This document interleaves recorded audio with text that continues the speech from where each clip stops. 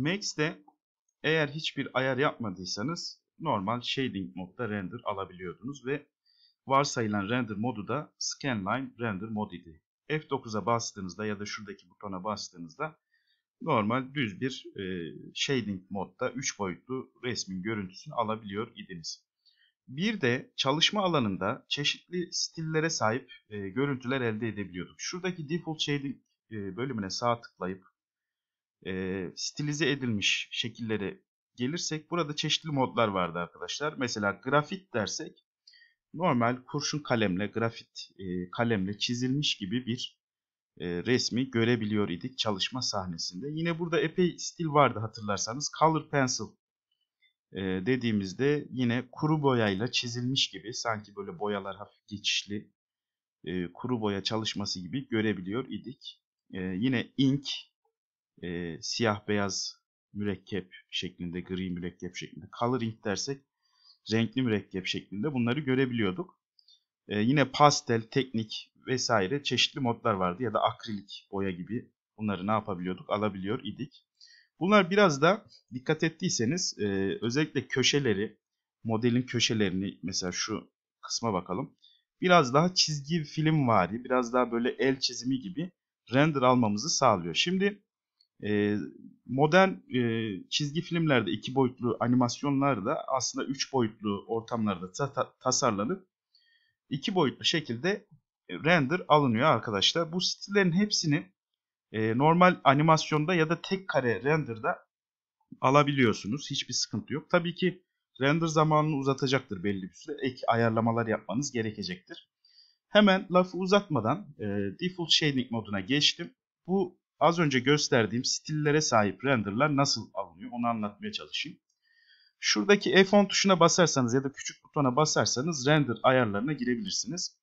Burada e, bizim varsayılan renderımız scanline e, basit render alma şekli. Arnold da buradaydı hatırlarsanız daha önceki derslerden. E, stillere sahip renderları ise Quicksilver Hardware Renderer seçeneğiyle alacağız. Quicksilver'ı seçiyorum ve render modunu değiştireceğim. Şu kısım common sekmesi e, normal e, kaç kare animasyon alacaksanız kaç kare karenin boyutu vesaire diğer ayarları içeriyor idi. E, bizim yapacağımız kısım ise şuradaki renderer bölümünde olacak arkadaşlar. Bu kısma gelip e, şuradaki realistik yazan açılan menüyü açarsanız şu aşağıdaki e, stil modlarını da burada görebilirsiniz. Eğer realistik seçiliyse hiçbir farkı olmaz. Normal shading dediğimiz düz e, kaplama şeklinde renderınızı alırsınız. Fakat stilize etmeye kalkarsak hemen deneyelim. Mesela grafit seçeneğini seçelim. Kara kalem çalışması gibi bir render alacağız. Render al dediğimizde bakın ne yaptı? Sanki bir kara kalem çalışması gibi render'ı alıyor arkadaşlar. Tabii ki süre e, ışıkta varsa, gölge varsa değişebilir. E, şu an benim sahnemde çok fazla ışık ve gölge yok. Dolayısıyla render'ı burada aldık. Tabii ki render'ın e, burada bazı ayarları var. E, özellikle ışık ve gölge kalitesi hakkında bir e, bölüm var ki birazdan ışık da atacağız sahneyi. Burayı deneyeceğiz tekrar. E, bunları ayarlayarak e, nesnelerin daha böyle iki boyutlu gibi render edilmesini sağlayabilirsiniz. E, şimdi buradan şu modlarda ben birkaç tane render alayım. Mesela ink mod da alalım. Mürekkep çalışması. Siyah beyaz ve gri mürekkep şeklinde render almanızı sağlıyor. Render tabii ki biraz uzun sürebilir. E, şu şekilde bir render aldık. Başka yani çizgi filme yakın bir render almaya çalışalım. Color Ink ya da Color Pencil e, derseniz bu daha çizgi filme yakın olacaktır. Ya da tek diyerek bunu sağlayabilirsiniz. Color Ink'te render alırsak bu da renkli mürekkep. Tabii ki burada gördüğünüz gibi e, şuralar çok koyu çıktı. Bunun sebebi de ortamda hem ışık olmaması hem de e, gölge ve çizgi kalitesini ayarlamamış olmamız. E, bunları daha hassas, daha güzel yapabiliriz. Az önce bahsettiğim şuradaki e, Lighting Shadow Quality seçeneğini artırarak maksimuma getirdim. Tekrar render ettiğimizde Buradaki çizgilerin ve e, gölgelerin daha net e, render edildiğini görüyorsunuz. Tabii ki şuralarda çok fazla obje olduğu için buraları render edemedi. Işık da yetersiz kaldı. E, ortama çok fazla ışık atarak, birkaç tane ışık atarak bu işi e, ayarlayacağız birazdan. Mesela bir de teknik olarak alalım.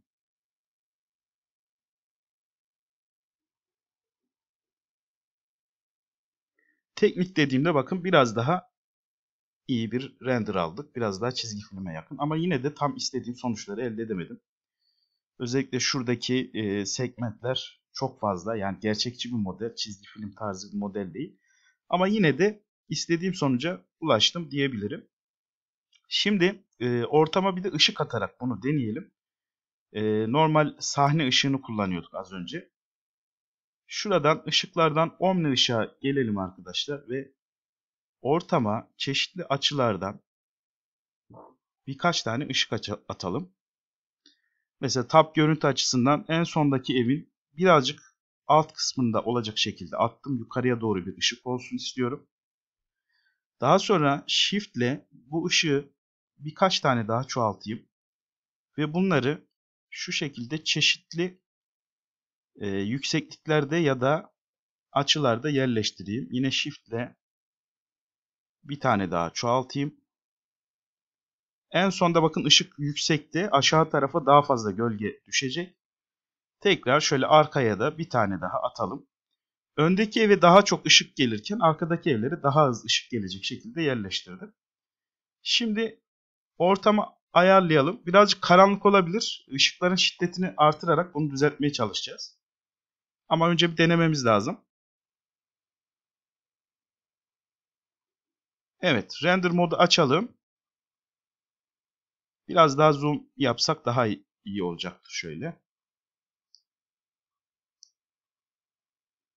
Evet, tek modda e, high quality seçeneğini seçtik. Şurada sahne ışıklarını kullanıyorduk biz. Default lights diyerek e, varsayılan ışığı kullanacağız. Yani buradaki omni ışıkları kullanmaya çalışacağız. Bir bakalım. Belki çok karanlık olacak. Belki çok aydınlık olacak. Tam bilmiyorum. Şimdi az öncekine göre biraz daha şu alt kısımlara daha fazla ışık düştüğü için biraz daha iyi bir render aldık diyebiliriz. Diğer modlarda deneyelim. Mesela Color Pencil'ı denememiştik. Boya kalemi şeklinde render etmeye çalışalım ışıkla.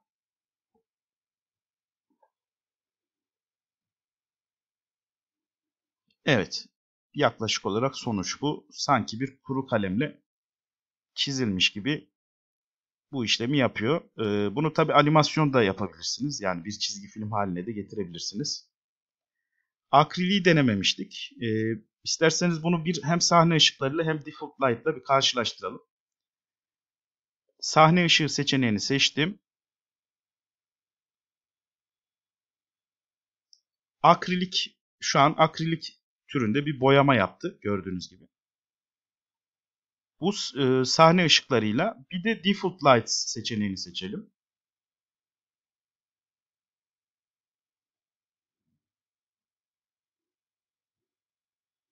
Bu da e, varsayılan ışıkla yani Omnilight'ın etki ettiği ışıkla hali çok az bir fark var. Belki ışık sayısı artırılarak daha açık bir renk elde edilebilir. Daha çizgi filme yakın bir e, render elde edilebilir. Ama temel mantığı gördüğünüz gibi bu kadar. E, şu bölümdeki modları seçmeniz yeterli. Ondan sonra çizgi filme yakın bir e, render alabilirsiniz. Animasyon yapabilirsiniz.